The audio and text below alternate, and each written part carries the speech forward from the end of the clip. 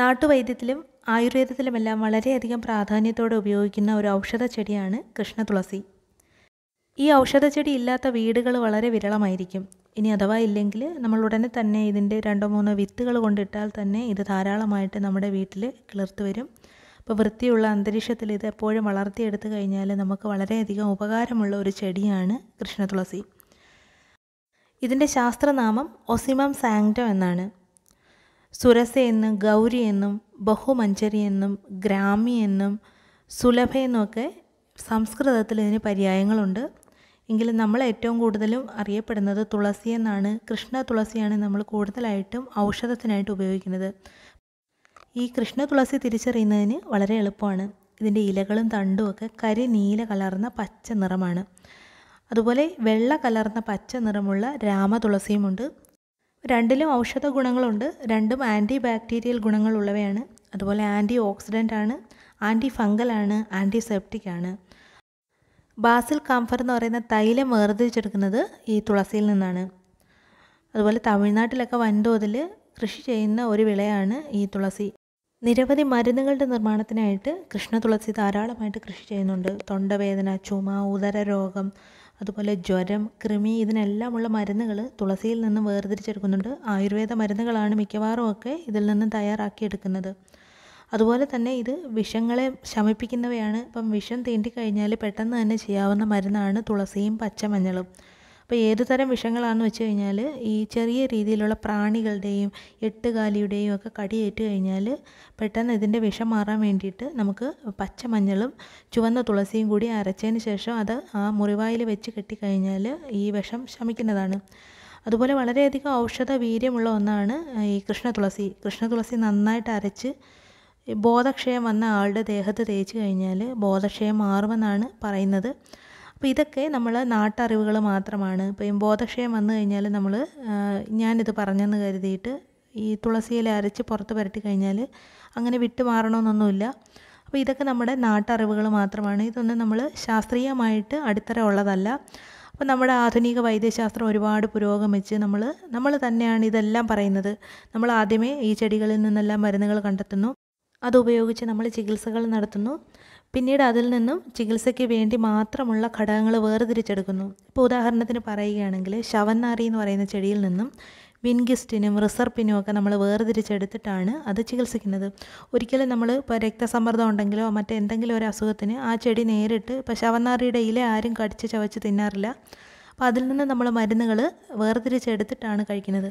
അതുപോലെ തന്നെയാണ് തുളസിയുടെ കാര്യം പറഞ്ഞു കഴിഞ്ഞാലും നാട്ടുചികിത്സയിലും ആയുർവേദത്തിലുമെല്ലാം വളരെയധികം ജനകീയമായിട്ടുള്ള ഒരു ചെടിയാണ് കൃഷ്ണതുളസി ഇസ്നോഫീലിയ ഹൃദ്രോഗം രോഗപ്രതിരോധ ശേഷി കൂട്ടുന്നതിനായിട്ട് അതുപോലെ ചിലന്തി വിഷം മാറുന്നതിന് കഫശല്യം പനി പീനസം അതുപോലെ കൊതുക് ശല്യം മാറുന്നതിന് ഏറ്റവും മികച്ച ഒന്നാണ് ഈ കൃഷ്ണതുളസി ചെവിക്കുത്ത് മാറുന്നതിന് വയറുകടി മാറുന്നതിന് ഇങ്ങേയറ്റം മഞ്ഞപ്പിത്തത്തിന് വരെ ചികിത്സയ്ക്കായിട്ട് കൃഷ്ണ തുളസി ഉപയോഗിച്ചിരുന്നു. ഇപ്പോഴും ചെറിയൊരു പനിയും ജലദോഷമൊക്കെ വന്നു കഴിഞ്ഞാൽ ഞാൻ ആദ്യമേ ചെയ്യുന്നത് ഈ കൃഷ്ണ തുളസിയുടെ ഇലയും ചുക്കും കരിപ്പോട്ടിയും കുരുമുളകും കുറച്ച് മഞ്ഞളും എല്ലാം ഇട്ടിട്ട് കഷായം വെച്ചിട്ട് കൂടെ കൂടെ അത് കുടിക്കും. അപ്പോൾ അത് കൊണ്ട് മാറുന്ന ഒരു പനിയൊക്കെയാണ് സാധാരണയായിട്ട് വരാറുള്ളത്. അപ്പോൾ അതിൽ കൂടുതലൊക്കെ വരികയാണെങ്കിലാണ് നമ്മൾ ഹോസ്പിറ്റലിലൊക്കെ പോകാറുള്ളത്.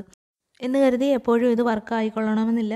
ഒരുവിധം രോഗപ്രതിരോധ ശക്തിയൊക്കെ ഉണ്ടെങ്കിൽ ഈ ചെറിയ പനിയൊക്കെ നമുക്ക് മാറ്റിയെടുക്കാവുന്നതാണ്. അപ്പോൾ ഇന്നത്തെ വീഡിയോയിൽ നമ്മൾ പരിചയപ്പെടുന്നത് ഈ ചിലന്തി എട്ടുകാലി പോലെയുള്ള ചെറിയ ജീവികൾ കടിച്ചു കഴിഞ്ഞാൽ ഈ വിഷം ശമിക്കുന്നതിന് വേണ്ടിയിട്ട് പെട്ടെന്ന് തന്നെ വീട്ടിൽ ചെയ്യാവുന്ന കൃഷ്ണ തുളസി ഉണ്ടെങ്കിൽ ചെയ്യാവുന്ന ചില മാർഗങ്ങളാണ്. അതുപോലെ തന്നെ കൊതുകിനെ നശിപ്പിക്കാൻ വേണ്ടിയിട്ട് വളരെ എളുപ്പത്തിൽ നമുക്ക് ചെയ്യാവുന്ന ചില മാർഗങ്ങൾ നമുക്ക് പരിചയപ്പെടാവുന്നതാണ്. അതുപോലെ മുഖത്തുണ്ടാകുന്ന പാടുകൾ മുഖക്കുരുവൊക്കെ മാറുന്നതിന് വേണ്ടിയിട്ടും കൃഷ്ണ തുളസി കൊണ്ട് നമുക്ക് ചില മാർഗങ്ങളുണ്ട്. അപ്പോൾ അതെന്തൊക്കെയാണെന്ന് ഇന്നത്തെ വീഡിയോയിൽ പറയുന്നുണ്ട്. അപ്പോൾ നമുക്കതൊക്കെ നോക്കാം. ആദ്യം തന്നെ നമ്മൾ പരിചയപ്പെടുന്നത് ഈ കൊതുകുകൾ നമ്മളെ കുത്താതിരിക്കാൻ വേണ്ടിയിട്ട് ഒരു പ്രൊട്ടക്ഷനായിട്ട് എങ്ങനെയാണ് തുളസി ഇല ഉപയോഗിക്കുന്നതെന്നാണ്. അപ്പോൾ ഇതിനായിട്ട് ഒന്നുകിൽ രാമതുളസിയുടെയോ കൃഷ്ണ തുളസിയുടെയോ ഇലകളെടുത്ത് നന്നായിട്ട് കൈകളിൽ വെച്ച് നന്നായിട്ട് ചേർത്ത് രണ്ട് കൈകളും ചേർത്ത് പിടിച്ച് ഒന്ന് നന്നായിട്ട് കശക്കി എടുക്കണം. അപ്പോൾ കശക്കുമ്പോൾ തന്നെ അതിൽ നിന്നും ചെറുതായിട്ടൊന്ന് മർദ്ദിച്ച് അതിന്റെ നീര് പുറത്തേക്ക് വരും. അത് നമുക്ക് ഒരു പാത്രത്തിലേക്ക് നന്നായിട്ട് ശേഖരിക്കാം. അപ്പോൾ ഇതുപോലെ നമുക്ക് നന്നായിട്ട് ഒന്ന് കയ്യിലിട്ട് കശക്കുമ്പോൾ തന്നെ അതിൽ നിന്ന് നല്ല കട്ടിയായിട്ട് അതിന്റെ നീര് പുറത്തേക്ക് വരും. അപ്പോൾ ഇതുപോലെ നമ്മൾ കുറച്ച് നീര് ശേഖരിക്കണം. ഈ നീര് ഉപയോഗിച്ചാണ് നമ്മൾ കൊതുകിനെ അകറ്റി നിർത്തുന്നത്. അപ്പോൾ നമ്മുടെ കൈ കാലുകളിലൊക്കെ ഈ നീര് ഡയറക്റ്റായിട്ട് തന്നെ നമുക്ക് തേച്ച് പിടിപ്പിക്കാം. അതുപോലെ ചെറിയ കുഞ്ഞുങ്ങളൊക്കെ ഉണ്ടെങ്കിൽ വൈകുന്നേരത്ത് അവരുടെ ശരീരത്തിലെല്ലാം കൊതുകുകൾ വന്ന് കടിക്കാറുണ്ട്. അപ്പോൾ ചെറിയ കുഞ്ഞുങ്ങളുടെ ദേഹത്ത് തേക്കുന്നതിനായിട്ട് നമുക്ക് ഈ തുളസിയിലെ നീരിൽ നിന്നും ഒരു ലിക്വിഡ് ഉണ്ടാക്കാം. ഇതിനായിട്ട് നമ്മൾ ഇതിലേക്ക് കുറച്ച് ഓയിൽ കൂടി ചേർക്കണം. എന്തെങ്കിലും ഒരു ഓയിൽ ചേർത്ത് കൊടുക്കണം. അത് വെളിച്ചെണ്ണയാണെങ്കിൽ ഏറ്റവും നല്ലത് ഇതുപോലെ കുറച്ച് വെളിച്ചെണ്ണ കൂടി നന്നായിട്ട് ഇതിലേക്ക് മിക്സ് ചെയ്ത് അത് നന്നായിട്ട് ഒന്ന് രണ്ടും കൂടി ഒന്നിച്ചൊന്നാക്കിയതിന് ശേഷം ഇത് ശരീരത്തിലേക്ക് തേച്ച് കൊടുക്കണം. അവരുടെ കയ്യിലും കാലിലും ഒക്കെ തേച്ച് കൊടുക്കണം. അപ്പോൾ ഈ ഒരു മയം ഉണ്ടെങ്കിൽ ഇതിന്റെ പ്രത്യേക ഒരു സ്മെല്ലുണ്ട്. ഈ ജീവികൾ ശരീരത്തിനടുത്തേക്ക് അടുത്ത് വന്നിട്ട് രക്തം കുടിക്കത്തില്ല. അപ്പോൾ കുഞ്ഞുങ്ങൾക്ക് വളരെയധികം നമുക്ക് സുരക്ഷിതമായിട്ട് ഉപയോഗിക്കാവുന്ന ഒരു മാർഗമാണിത്. ഇനി അഥവാ കൊതുക് കടിച്ചതിന് ശേഷം ഉണ്ടാകുന്ന ചൊറിച്ചിലും പാടും ഒക്കെ മാറ്റുന്നതിന് വേണ്ടിയിട്ടും നമുക്ക് ഈ തുളസിയുടെ നീര് ഉപയോഗിക്കാം. അപ്പോൾ നമ്മൾ ഇതിനകത്ത് വെളിച്ചെണ്ണയ്ക്ക് പകരമായിട്ട് കുറച്ച് തേൻ കൂടി ചേർത്ത് നന്നായിട്ട് മിക്സ് ചെയ്ത് ആ ഒരു ഭാഗത്ത് തേച്ച് കൊടുത്തു കഴിഞ്ഞാൽ ആ പാടൊക്കെ പെട്ടെന്ന് തന്നെ മാറും. മാത്രമല്ല ഈ പ്രാണികൾ കടിച്ചത് മൂലം എന്തെങ്കിലും വിഷാംശം ഉണ്ടെങ്കിൽ അത് മാറിക്കിട്ടുന്നതിനും ഇത് വളരെ നല്ലതാണ്. അപ്പോൾ ഈ എട്ടുകാലിയുടെ വിഷമാണെന്നുണ്ടെങ്കിൽ നമ്മൾ ഇതിനോടൊപ്പം അരച്ച് ചേർക്കേണ്ടത് മഞ്ഞളാണ്. അപ്പോൾ മഞ്ഞൾ അരച്ച് നന്നായിട്ട് ഈ നീരിനോടൊപ്പം ചേർത്തതിന് ശേഷം ആ മുറിവായിൽ പുരട്ടി കഴിഞ്ഞാൽ പെട്ടെന്ന് തന്നെ ഇത് മാറിക്കിട്ടും. അപ്പോൾ സാധാരണ പച്ചമഞ്ഞളാണ് ഇതിന് വേണ്ടിയിട്ട് നമ്മൾ തിരഞ്ഞെടുക്കേണ്ടത്. മുഖക്കുരു കറുത്ത പാടൊക്കെ ഉണ്ടെങ്കിൽ തുളസി നീരിനൊപ്പം കസ്തൂരി മഞ്ഞൾ കൂടി അരച്ച് തേച്ച് കഴിഞ്ഞാൽ അതിനൊക്കെ മാറ്റം വരുന്നതാണ്. അപ്പോൾ കസ്തൂരി മഞ്ഞൾ പൊതുവേ ഈ മുഖക്കുരുവിനും പാടുകൾ മാറ്റുന്നതിനുമൊക്കെ വളരെ നല്ലതാണ്. അപ്പോൾ അലർജി ഇല്ലാത്തവർ കസ്തൂരി മഞ്ഞൾ തന്നെ ഉപയോഗിച്ച് കഴിഞ്ഞാൽ വളരെ നന്നായിരിക്കും. പക്ഷേ വിഷമൊക്കെ ഉണ്ടെങ്കിൽ നമ്മൾ പച്ചമഞ്ഞൾ ഉപയോഗിക്കുന്നതാണ് വളരെ നല്ലത്. അതുപോലെ പുഴുക്കടി പോലെയുള്ള ത്വക്ക് രോഗങ്ങളുണ്ടെങ്കിൽ അത് മാറുന്നതിന് വേണ്ടിയിട്ട് തുളസി നീര് ഉപയോഗിക്കാം. അപ്പോൾ കുറച്ച് ദിവസം അടുപ്പിച്ച് നമ്മൾ ചെയ്ത് കഴിഞ്ഞാൽ അത് മാറുന്നതാണ്. തുളസിയുടെ നീരെടുത്തതിന് ശേഷം ഈ പുഴുക്കടിയുള്ള ഭാഗത്ത് പുരട്ടി കൊടുക്കാം. അതുപോലെ ചുമ മാറുന്നതിന് വേണ്ടിയിട്ടും തുളസി നീര് ഉപയോഗിക്കുന്നുണ്ട്. തുളസി നീരിൽ കുറച്ച് ഇഞ്ചിയുടെയും ചുവന്നുള്ളിയുടെയും നീര് കൂടി യോജിപ്പിച്ച് തേനും ചേർത്ത് കുടിച്ച് കഴിഞ്ഞാൽ ചുമയൊക്കെ മാറുന്നതാണ്.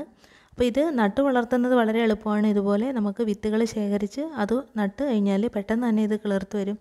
അപ്പോൾ ഇത് ഉണങ്ങിക്കഴിഞ്ഞാൽ പെട്ടെന്ന് തന്നെ അതിനകത്ത് ഉള്ളിലുള്ള ചെറിയ വിത്തുകൾ നഷ്ടമായി പോകും. അതുകൊണ്ട് ഒരുവിധം വിളഞ്ഞ വിത്തുകൾ നമ്മൾ ഒരു പച്ച നിറത്തിലിരിക്കും. ആ വിത്തുകൾ തന്നെ ഉണക്കിയെടുത്തു കഴിഞ്ഞാലായിരിക്കും കൂടുതലായിട്ട് നമുക്ക് അതിന്റെ വിത്തുകൾ ശേഖരിക്കാനായിട്ട് സാധിക്കുന്നത്. അപ്പോൾ ഇതുപോലെ ചെറിയ വിത്തുകൾ ഇതിനുള്ളിലുണ്ട്. അതാണ് നമ്മൾ നടാനായിട്ട് ഉപയോഗിക്കുന്നത്. ഇതിന്റെ ഉണങ്ങിയ വിത്തുകൾ ശേഖരിച്ച് വെള്ളത്തിലിട്ട് വെച്ച് കഴിഞ്ഞാൽ കസ്കസിനെ പോലെ വെള്ളം ആഗിരണം ചെയ്ത് പെട്ടെന്ന് തന്നെ വീർത്ത് വരും. അപ്പോൾ ഇത് കസ്കസിന്റെ ഫാമിലിയിൽപ്പെട്ട ഒരു ചെടി തന്നെയാണ്. പക്ഷേ കസ്കസിന്റെ വിത്ത് പോലെ ആരും ഉപയോഗിക്കാറില്ല. നമ്മുടെ പരിസരങ്ങളിലൊക്കെ ഇതുപോലെ കുറച്ച് വിത്തുകൾ കൊണ്ടിട്ട് കഴിഞ്ഞാൽ പെട്ടെന്ന് തന്നെ കിളിർത്ത് വരും. സാംക്രമിക രോഗങ്ങൾ വരാതിരിക്കുന്നതിനും ഇഴജന്തുക്കൾ വരാതിരിക്കുന്നതിനും ഇപ്പോൾ പാമ്പ് പോലെയുള്ള ജീവികൾ അധികമായിട്ട് വരാതിരിക്കാൻ വേണ്ടിയിട്ട് ഈ തുളസി കൂടുതൽ നട്ടുപിടിപ്പിച്ച് കഴിഞ്ഞാൽ അത് വരാതിരിക്കാൻ സാധ്യതയുണ്ടെന്നാണ് പറയുന്നത്. അപ്പോൾ പ്രത്യേകിച്ചൊരു ഗന്ധമൊക്കെ ഉണ്ട്. അപ്പോൾ അത് പാമ്പ് പോലെയുള്ള വിഷജീവികൾക്കൊക്കെ അത്ര പിടിക്കാത്ത ഒരു ഗന്ധമാണ്. അതുപോലെ തന്നെ കൊതുക് നമ്മുടെ വീട്ടിനടുത്തേക്ക് വരാതിരിക്കാൻ വേണ്ടിയിട്ടും സാധിക്കുമെന്നാണ് പറയുന്നത്. അപ്പോൾ ഇതിന്റെ ആ ഒരു പ്രത്യേക ഗന്ധം ഉണ്ടെങ്കിൽ പലതരത്തിലുള്ള ജീവികളെ നമുക്ക് അകറ്റി നിർത്താം. ഇനി അതുപോലെ ചെറിയ വിഷാംശമൊക്കെ ഏറ്റ് മോഹാലസ്യപ്പെട്ടു പോവുക അല്ലെങ്കിൽ ഇടിമിന്നലേറ്റ് പെട്ടെന്ന് ബോധം പോകുന്ന അവസ്ഥ. അപ്പോൾ ഇതൊക്കെ ഫസ്റ്റ് എയ്ഡ് ആയിട്ട് നമുക്ക് ഒന്നും ചെയ്യാനായിട്ട് വേറെ ഒരു നിർവാഹവും ഇല്ലാത്ത ഒരു അവസ്ഥയിലാണ് പെട്ടെന്ന് ഹോസ്പിറ്റലിൽ എത്തിക്കാനായിട്ട് സാധിച്ചില്ല. എന്തെങ്കിലും ഒരു അവസ്ഥയിലാണെങ്കിൽ പെട്ടെന്ന് തന്നെ ഈ തുളസി ഇല നന്നായിട്ട് അരച്ച് അവരുടെ ശരീരത്തിൽ നെറ്റിയിലും ആകെ തേച്ച് പിടിപ്പിച്ച് കഴിഞ്ഞാൽ ബോധക്ഷയം മാറുന്നതായിട്ട് ഇങ്ങനെ അറിവുകളുണ്ട്. വിഷജീവികൾ കടിച്ചു കഴിഞ്ഞാൽ പെട്ടെന്ന് തന്നെ നമ്മൾ ഹോസ്പിറ്റലിലേക്ക് കൊണ്ടുപോകണം. അപ്പോൾ അത് വണ്ടിയൊക്കെ കാത്തു നിൽക്കുന്ന സമയത്ത് നമുക്ക് ചെയ്യാവുന്ന കുറച്ച് ഫസ്റ്റ് എയ്ഡുകൾ കാണും. അപ്പോഴേ ചെയ്യുന്ന ചില കാര്യങ്ങളാണ് തുളസി ഇലയും തുളസി പൂവും പച്ചമഞ്ഞളും തേനും കൂടി എടുത്ത് അരച്ച് ആ മുറിവായിൽ വെച്ച് നന്നായിട്ട് തേച്ച് പിടിപ്പിച്ച് കഴിഞ്ഞാൽ ചെറിയ വിഷാംശമൊക്കെ ഉള്ളതാണെങ്കിൽ ചിലപ്പോൾ അത് മാറിക്കിട്ടും. അപ്പോൾ ഉടൻ തന്നെ ചെയ്യാവുന്ന ചില കാര്യങ്ങളാണ്. നമ്മൾ ഹോസ്പിറ്റലിലേക്ക് കൊണ്ടുപോകാൻ നമ്മളൊന്നും ചെയ്യാതെ ഇരിക്കേണ്ട. എന്തെങ്കിലുമൊക്കെ പച്ചമരുന്നുകൾ ഇങ്ങനെ ചെയ്തുകൊണ്ടേ ഇരിക്കണം. അപ്പോൾ എനിക്ക് അനുഭവം ഉള്ളതാണ് എന്നെ ഇങ്ങനെ കടന്തൽ കുത്തിയ സമയത്ത് ഞാൻ ഇതുപോലെ ആദ്യമേ ചെയ്തത്. ഹോസ്പിറ്റലിലേക്ക് പോകുന്നതിന് മുമ്പ് തന്നെ നമുക്ക് വണ്ടിയൊക്കെ കിട്ടി. ഹോസ്പിറ്റലിൽ എത്തുന്നതിന് മുമ്പ് തന്നെ ഇങ്ങനെയൊക്കെ ചെയ്തിരുന്നു. അപ്പോൾ തീർച്ചയായിട്ടും നമ്മൾ നമ്മുടെ വീട്ടിലുള്ള ചില കാര്യങ്ങൾ കൊണ്ട് ഇങ്ങനെയൊക്കെയുള്ള ചില ഉപകാരങ്ങളുണ്ട്. അതൊക്കെയാണ് ഞാൻ ഒന്നുകൂടി ഓർമ്മിപ്പിച്ചത്. തുളസി എന്ന് പറഞ്ഞു കഴിഞ്ഞാൽ സംസ്കൃതത്തിൽ അർത്ഥം തുലനമില്ലാത്തത് എന്നാണ്. അപ്പോൾ അത്രത്തോളം ഔഷധ ഗുണമുള്ള ഒരു ചെടിയാണ്. മറ്റൊരു ചെടിക്കും ഇല്ലാത്ത ഗുണം തുളസിക്കുണ്ടെന്നാണ് പറഞ്ഞിട്ടുള്ളത്. അപ്പോൾ വിഷ്ണുവിന് ഏറ്റവും പ്രിയപ്പെട്ട ഒന്നാണ് വിഷ്ണുപ്രിയ എന്നാണ് ഇതിന്റെ പറയപ്പെടുന്ന പേര്. അപ്പോൾ ലക്ഷ്മി ദേവിയുടെ പ്രതിരൂപമായിട്ടാണ് തുളസി ചെടിയെ നമ്മൾ കാണുന്നത്. അതുകൊണ്ട് തന്നെ വീട്ടിൽ തുളസി വെച്ച് പിടിപ്പിക്കുന്നതും തുളസിത്തറ ഉണ്ടാക്കുന്നതും അതിൽ ദീപം കത്തിക്കുന്നതും ശ്രേഷ്ഠമാണ് ഐശ്വര്യമാണ്. അപ്പോൾ ഇന്നത്തെ വീഡിയോ ഞാൻ വൈൻഡപ്പ് ചെയ്യാണ്. ഇന്നത്തെ വീഡിയോ ഇഷ്ടമായിട്ടുണ്ടെങ്കിൽ തീർച്ചയായിട്ടും ലൈക്ക് ചെയ്യണം. അതുപോലെ നിങ്ങൾ ആദ്യമായിട്ടാണ് എന്റെ ചാനൽ കാണുന്നതെങ്കിൽ ദയവായിട്ട് ചാനൽ ഒന്ന് സബ്സ്ക്രൈബ് ചെയ്യുക. അപ്പോൾ നമുക്ക് അടുത്ത വീഡിയോയിലൂടെ വീണ്ടും കാണാം. ബൈ